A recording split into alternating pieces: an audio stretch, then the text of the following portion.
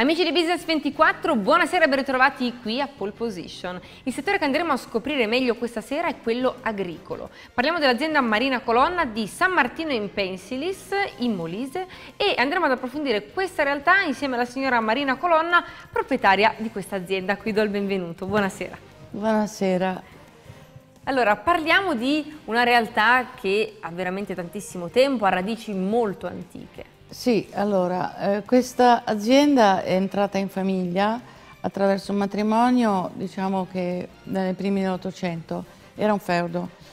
E adesso, diciamo che mio padre fu il primo, a, dopo la guerra, a innovare, eh, coltivando tabacco, mettendo anche mh, mm, eh, beh, eh, vacche da latte, eh, gli oliveti, perché c'erano già oliveti, però lui ha implementato anche questo lavoro qui, il frantoio, eccetera. Poi mm, passano gli anni e entro, entro io in scena. Per... Negli anni Ottanta, giusto? Sì, negli anni, fine anni Ottanta. Eh, perché mi sembrava opportuno, eh, era un po' una sfida per mio padre, per me con mio padre, perché mi sembrava opportuno invece di vendere quest'olio che era di grande qualità sfuso, eh, bisognava fare un bella, una bella bottiglia.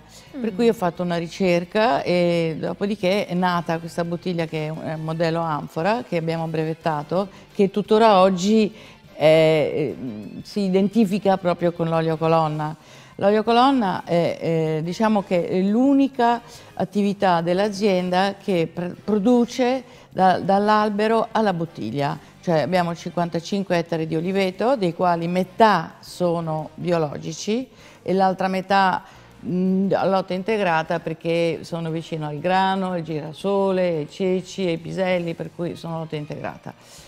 Il frantoio è un frantoio aziendale che io ho innovato recentemente perché sì. l'innovazione è una cosa fondamentale se uno vuole mantenere la qualità e da questo frantoio escono questi oli che sono di particolare pregio e hanno un mercato soprattutto estero e questo mercato estero io ho iniziato a fine anni 80, per cui veramente... Quindi già dagli anni 80 si parlava di un mercato estero, estero da subito? Sì, sì, da subito. Come cioè, avevo scelta? anche l'Italia, però l'Italia è più mm. faticosa, mm. poi adesso eh, c'è tanta competizione, prima, prima, era classificato come una commodity, cioè non è il vino che mm.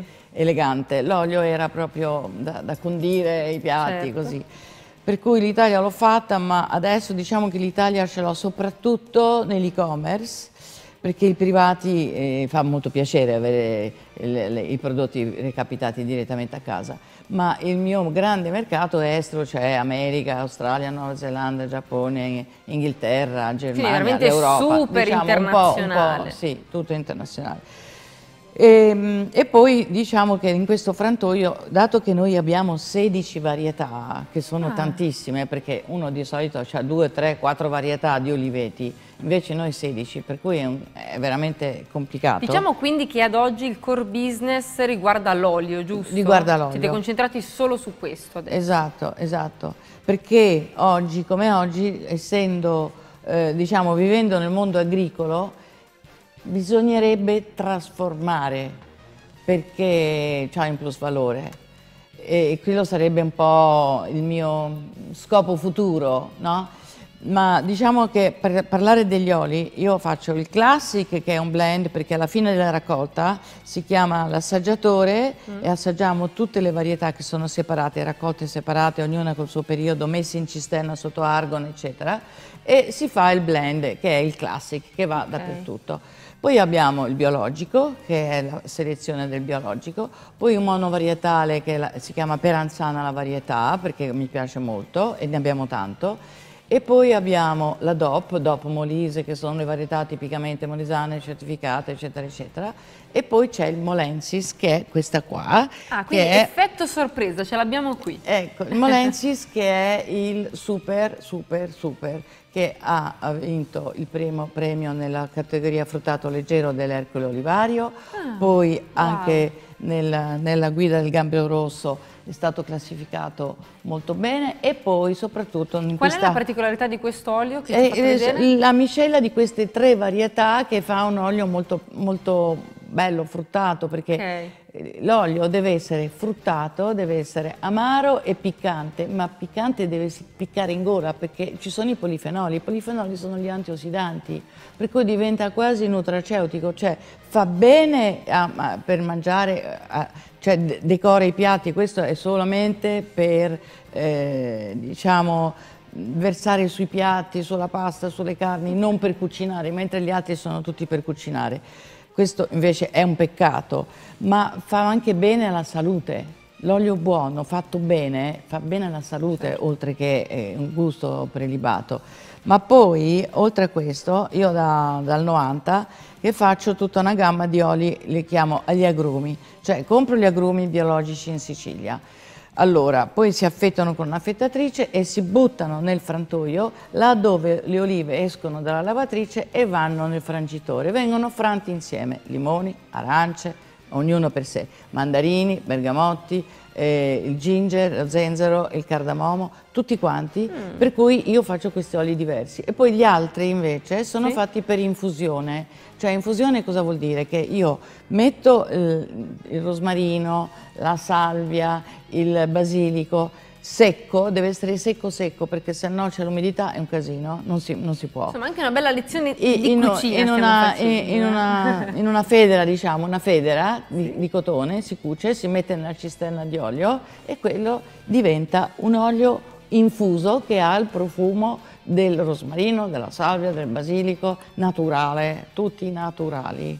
capito? Infatti per voi eh, la sostenibilità è veramente molto molto importante. Molto importante, sì, è molto importante riuscire a coltivare senza usare la chimica, eh, questo è importantissimo. E poi oh, eh, gli accorgimenti sono tantissimi, cioè raccogliere in anticipo, eh, molire subito appena raccolto, però eh, il punto di debolezza qual è? È che manca la manodopera, è difficile difficile affidarsi perché la manodopera è importantissima, quando c'è la raccolta devi, devi, chiamare 20, 25, 30 persone. Con la potatura devi avere dei potatori che sono super bravi, sono degli artisti potatori, dalla potatura mm. arriva poi la qualità della produzione. E i potatori purtroppo sono difficili da trovare, molto difficili. Allora noi abbiamo un problema che tu sei pronto, ti dedichi tantissimo per fare quella qualità, sì. perché oggi che, qual è la, la, motivazione per la quale uno dovrebbe fare un olio super buono? Che deve avere passione, deve avere perseveranza e trasmettere questi due elementi con costanza agli operai. E questi Perché sono i vostri punti di forza? Assolutamente, assolutamente. Quali sì. sono i vostri progetti futuri?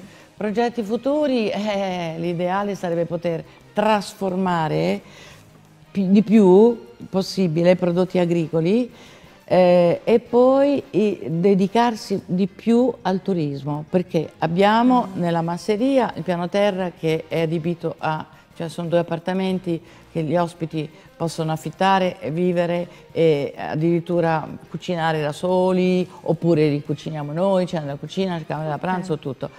E, e, poi io faccio moltissimo con gli stranieri questo discorso di oleoturismo, cioè arrivano io gli faccio il tour negli oliveti, poi vedono il frantoio, gli insegno come funziona, vanno a vedere le donne all'imbottigliamento e poi si va, adesso che la stagione è bella, si va fuori sotto l'albero davanti a casa e su questo bel tavolo si mettono tutti i prodotti e, lo, e io insegno a, soprattutto agli stranieri come si assaggia l'olio. Oh, che cosa vuol bello. dire l'olio di qualità? L'extravergine, poi ci sono quelli con gli agrumi, gli altri, le olive da tavola, perché c'è tante olive da tavola biologiche anche, che è una follia in quel microclima lì fare le olive da tavola biologiche, però ce la, la facciamo. Certo. E poi i patè di olive, eh, insomma tutti i prodotti aziendali. Infatti cui... dei tutorial sì, da ma vicino. loro ecco. vanno via contentissimi. Poi Bello, durante il periodo di raccolta, per esempio, cosa si fa? Allora vengono, soprattutto anche gli italiani, vengono e gli dai una vaschetta o il pettinino sì. e gli dici vai in quell'oliveto vicino a casa così non ti devi fare troppa fatica e raccogli un po' di olive. Poi le mettiamo nel frantoio e questi signori vanno via con una bottiglia ah, d'olio che dice, tornano a casa e dicono questo l'ho fatto io. Bello, molto, molto bello, carino. molto interessante. Eh sì, sì soprattutto carino. diciamo che è un'esperienza che rimane nel cuore, cioè dal punto certo. di vista umano è un'esperienza molto bella. Perché vi ritenete in pole position? Intanto perché abbiamo un mercato di nicchia da tanto tempo che, che comunque è affezionato, perché per mantenere, per mantenere il mercato devi cercare di aumentare sempre la qualità. Per cui in pole position in quel senso lì, perché io ci tengo da pazzi e eh, spero che anche questa mia passione venga riconosciuta un po' Assolutamente direi mercato. che anche attraverso questa intervista eh. si è percepita tantissimo. Mm. Quindi anzi grazie per averci trasmesso tutta questa passione e per averci raccontato di questa bellissima realtà che è Marina Colonna. Grazie ancora. Grazie a voi, grazie. E voi mi raccomando continuate a seguirci perché abbiamo ancora tantissime imprese da scoprire qui insieme a Pole Position. A presto.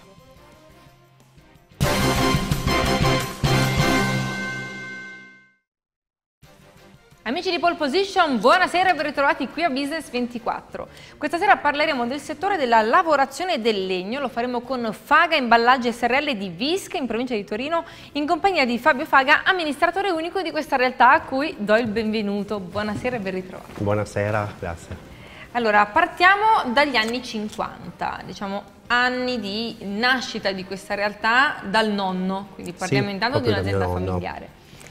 Mio nonno nel primo dopoguerra mh, mm, doveva lavorare e si è improvvisato a fare il commerciante di legname, l'abbattitore di piante e poi andava a vendere suo, le sue piante ai, alle varie aziende che c'erano nel territorio, soprattutto quello locale piemontese, perché noi siamo a Vische, una, un piccolo paesino sì. eh, vicino a Ivrea, mm, nel Canavese, e lui ha incominciato così con questa attività di commerciante di legname. Ecco, quindi abbiamo capito come è cominciata diciamo, questa avventura, ma quali sono state poi le tappe principali che l'hanno fatta arrivare ovviamente fino ad oggi? Beh, per fortuna mio padre ha avuto la volontà di continuare con mio nonno questa attività, hanno messo su negli anni 70, dopo questi, questo primo ventennio di commercio, una piccola segheria dove hanno incominciato anche a fornire ai falegnami il tavolame per costruire mobili. All'epoca era pieno di piccoli falegnami che costruivano la cucina o il salotto alle persone sì. e, e, quindi si erano adeguati a fare quel tipo di mestiere. Dopodiché negli anni 80 eh, mio padre incominciò a um, fare i primi imballi in legno, le prime pedane, i primi pallet per il settore dei laterizi e um, incominciò con qualche piccolo cliente fino ad arrivare poi a quasi gli anni 2000 sono, dove sono subentrato io alla guida dell'azienda. Ecco, cosa è cambiato da quando è subentrato lei in azienda?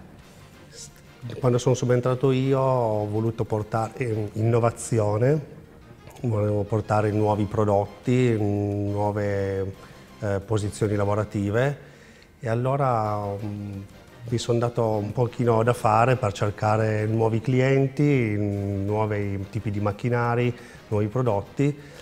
E devo dire che mm, il successo c'è stato perché dal 97, che, 1997 mm, in cui ho cominciato ad oggi siamo passati ad avere una realtà di circa 40 dipendenti e abbiamo costruito più capannoni dove abbiamo messo delle linee produttive per fare mm, questi pallet che diamo a tutti i nostri clienti che spaziano dai diversi settori merceologici. Ecco appunto, parliamo proprio del vostro core business, cosa fate? Il nostro business principale è proprio il pallet, la classica pedana in legno dove eh, i nostri clienti appoggiano le loro merci per spedire eh, ai loro stessi clienti e il pallet è importante perché senza quello la merce non viaggia, quasi non più. Ecco, quindi direi che anche poi i settori che andate a toccare sono a questo punto veramente sì, tantissimi. Sì, passiamo dall'automotive, che essendo a Torino anche importante come settore, sì. andiamo nel settore della logistica, tutti i magazzini dove vengono spedite le merci più disparate. E poi abbiamo il settore dell'edilizia sempre che è molto importante per noi.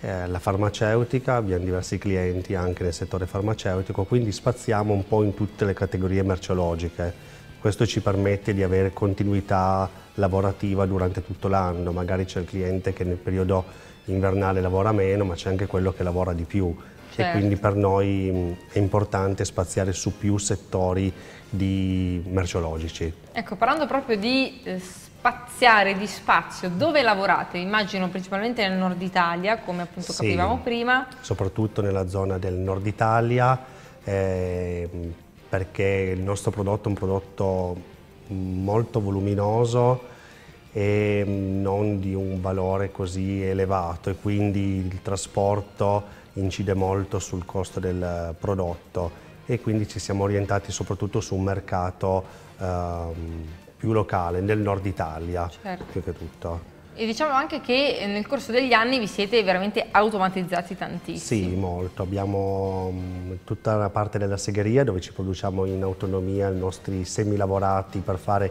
i pallet e attualmente produciamo circa il 50% dei semilavorati a noi necessari in autonomia, la restante parte la compriamo da mercati eh, esteri.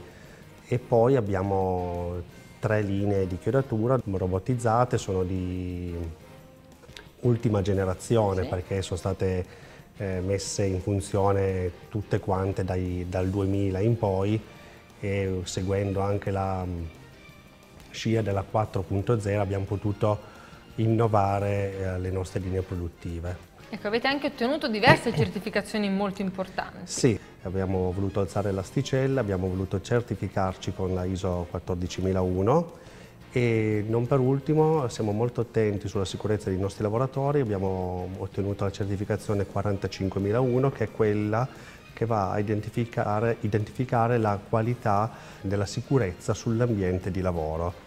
Per noi questo è un tema molto importante. Ecco, parliamo anche mh, di ecosostenibilità più nello specifico perché per voi, anche come diceva lei poco fa, è molto importante questo sì, tema. Sì, negli ultimi anni abbiamo voluto proprio dare il massimo, abbiamo portato l'azienda ad ottenere circa l'85% dell'autonomia energetica.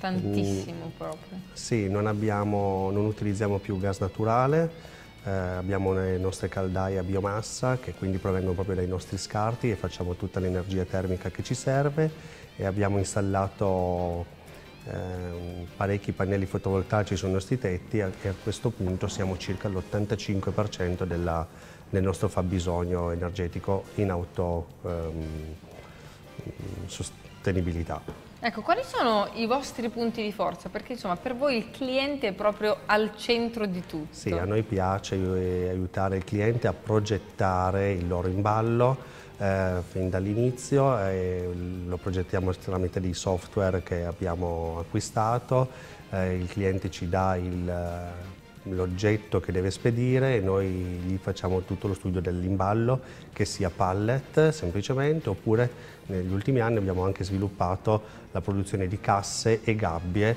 ad hoc per il cliente, che sia una sola cassa o che siano anche 100, noi ne facciamo, ne facciamo quello che serve.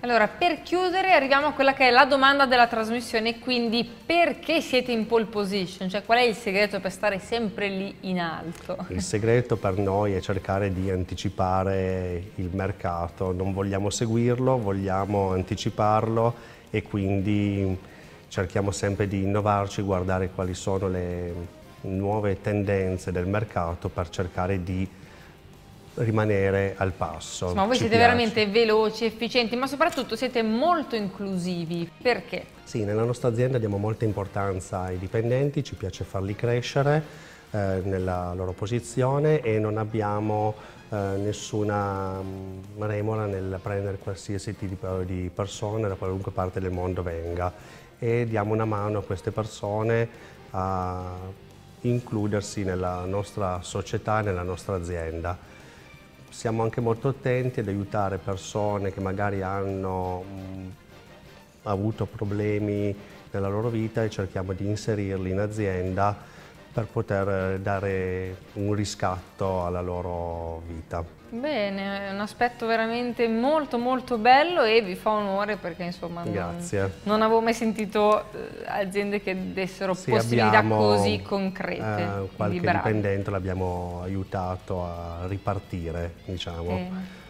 Allora io vi faccio un grosso in bocca al lupo per grazie. tutto il lavoro, tutti i progetti futuri e quindi grazie mille a Fabio Faga, amministratore unico di Faga Imballaggi SRL di Visca in provincia di Torino per essere stato con noi, grazie. Grazie mille. E voi mi raccomando continuate a seguirci, a restare con noi perché abbiamo ancora tantissime imprese veramente super da scoprire qui insieme a Pole Position. A presto.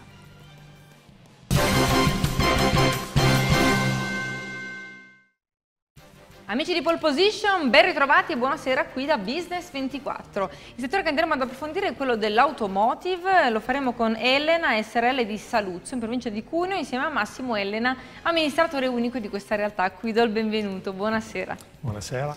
Allora, partiamo da quella che è la storia di questa realtà. Quando nasce e eh, insomma, qual è stata l'idea iniziale o comunque il bisogno che si pensava il, il mercato avesse? Allora, eh, la Elena nasce nel 19, l'ho fondata nel 1996 a, a Saluzzo, una bellissima cittadina della provincia di Cuneo. E noi siamo specializzati nella costruzione di veicoli speciali. Um, il nostro core business è la, in particolare la costruzione di auto funebri e l'allestimento di, di, veicoli commerciali, dei furgoni, sì. che vengono utilizzati dagli operatori funebri come mezzi di supporto. La costruzione dell'auto funebre parte dalla, da, da, una, da un'autovettura.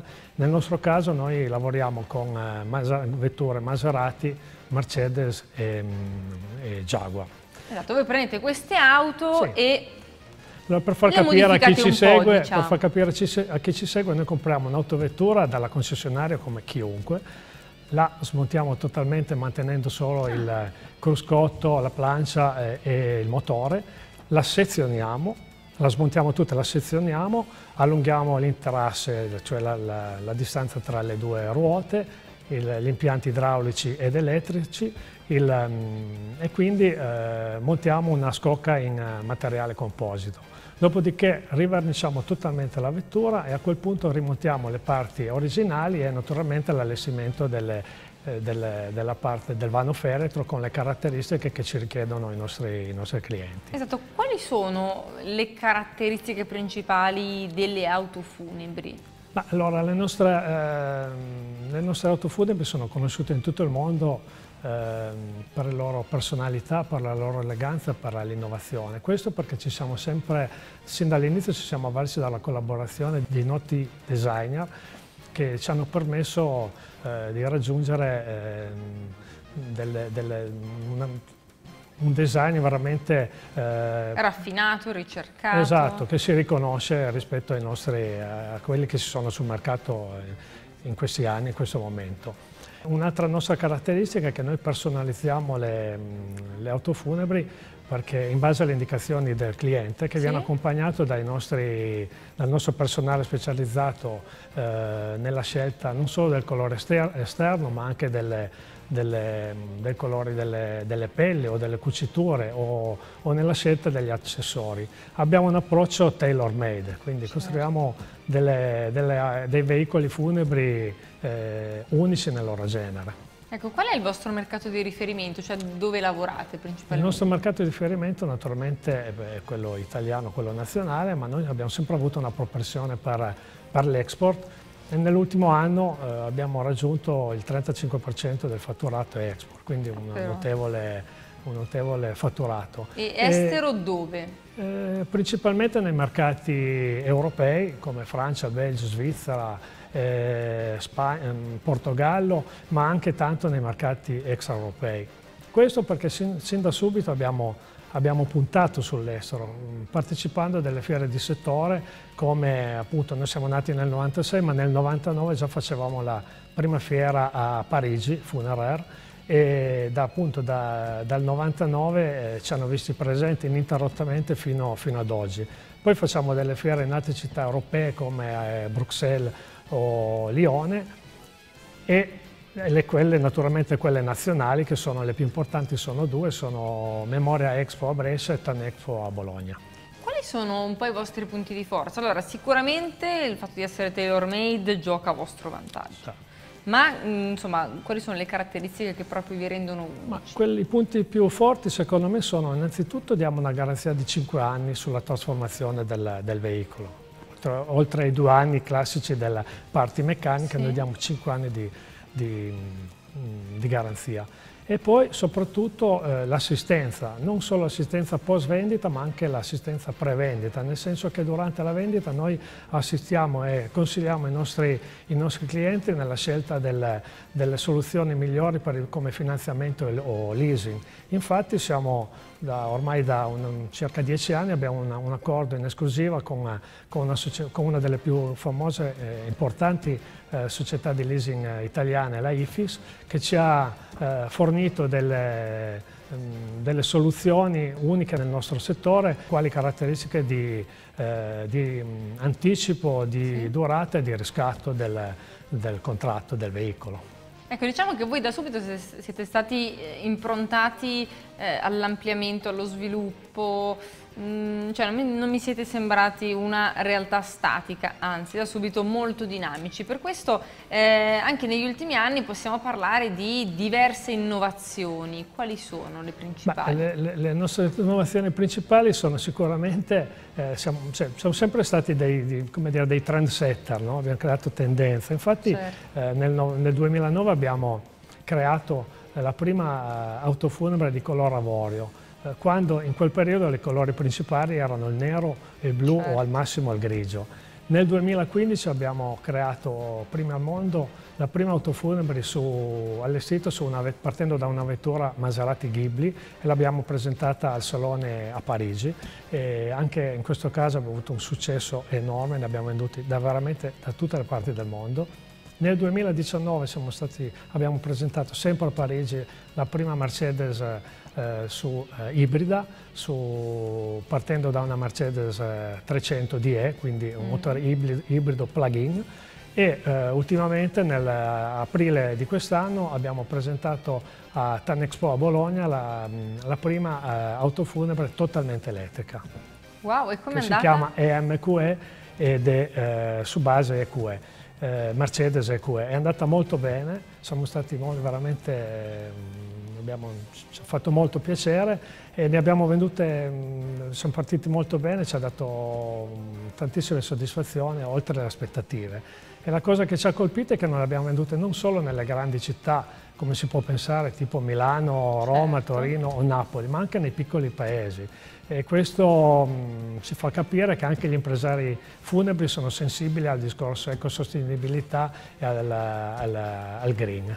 Allora parliamo anche un po' di quelli che sono i progetti futuri, quali sono gli obiettivi che avete? I nostri beh, progetti futuri sono tanti e in cantiere abbiamo tanta carne eh, al fuoco, diciamo così.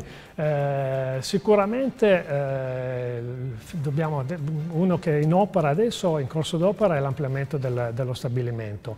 Eh, inoltre abbiamo in cantiere dei nuovi modelli che lanceremo prossimamente e, e l'ampliamento del, del, mercato estero con nuove eh, in, nuove, in, nuovi paesi a cui stiamo lavorando e che per ovvie ragioni non posso ancora eh, divulgare.